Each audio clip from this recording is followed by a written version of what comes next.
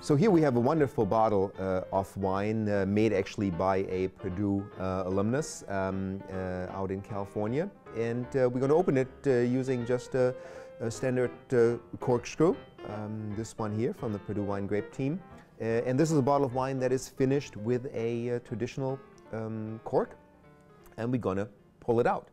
So we, we pull the little knife out, we hold the bottle, um, we press the knife against the side here with one finger and then we keep it steady and we just turn the bottle around. We just turn the bottle and press it against the knife. And we do this a couple of times. Um, and uh, we don't have to put a lot of force into it uh, because now it just pops up uh, very easily and it's all done and we have exposed the cork now and now we're ready to actually pull it out. Now we're putting the little knife away and we're folding out the other two segments uh, of the uh, corkscrew, including the screw itself, and uh, put the tip of our index finger um, at the end of the screw. Now we're going to aim for the center of the cork with the pointy part of the screw. So we're going to go right in the middle and push it in. Now we're going to screw the corkscrew into the cork. But we're not going to do that all the way. We're going to leave one uh, segment of the, of the screw out. So now we can actually fold down the little lever here onto the edge and we're going to hold our thumb against it so it doesn't slip off. and now we use our leverage to start pulling the cork out, putting a lot of force here in the back.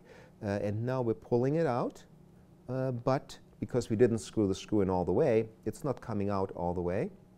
So that gives an opportunity to not just pull the cork out and make it pop and possibly splatter wine all over. So now have a chance to actually twist it slightly and remove the cork without uh, popping it and without um, possibly spilling it. So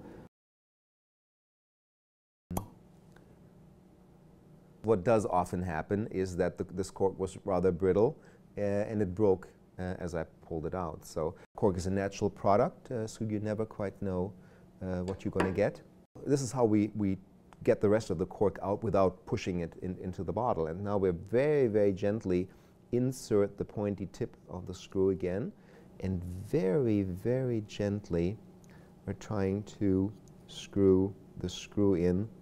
Now it's in there and now we're trying to pull the rest of the cork out and it's a little soft and that's why it fell apart. The bottle is ready to be poured uh, and uh, the wine should be fine.